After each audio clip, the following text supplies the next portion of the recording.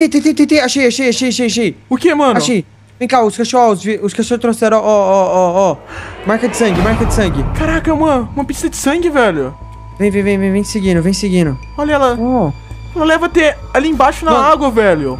Caraca, os ca... o cara se matou, né, velho? Caraca, mano. Cê... Que que é isso?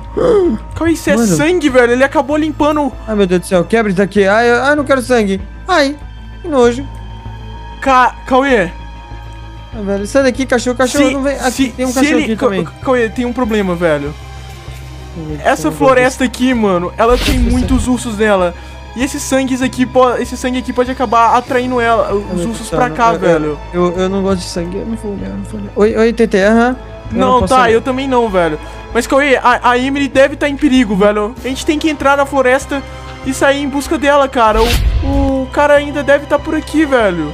Certeza eu- que o Sherry deve estar por aqui, Não, TT, mano. é, Ele tá ferido, é? mano. Ele não pode ter ido longe. Passou uma noite apenas, velho. Se a gente pegar os cachorros e colocar eles para farejar o, sangue deles, pode ser que a gente encontre ele ainda por aqui, velho. Temos a chance de salvar uma pessoa. E você tá com medo de um simples sangue de um cara que tá ferido, velho. Você não viu a espada cara, do Justin? O cara ele matou já... um guarda, eu acho. Não Cauê, mas ele tá ferido, velho. A gente ainda consegue ir atrás dele se a gente ainda for agora. Vem comigo, cara. Tá bom, tá bom.